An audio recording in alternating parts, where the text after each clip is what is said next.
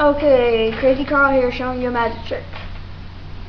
So, Got first of all, I'm going to show you this card. I had no idea what it is, but I'm guessing it's the Ten of Spades, am I correct? Yes, I am. This card right here. Two of clubs, yep. King of, King of clubs. King, King of richness. King of, King of, King of diamonds. Yes. Um, three of hearts, three of spades, two spades, five of hearts, four of clubs,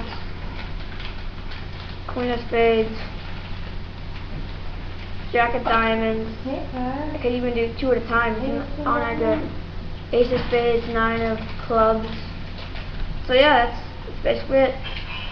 So enjoy and subscribe and comment to me. Uh,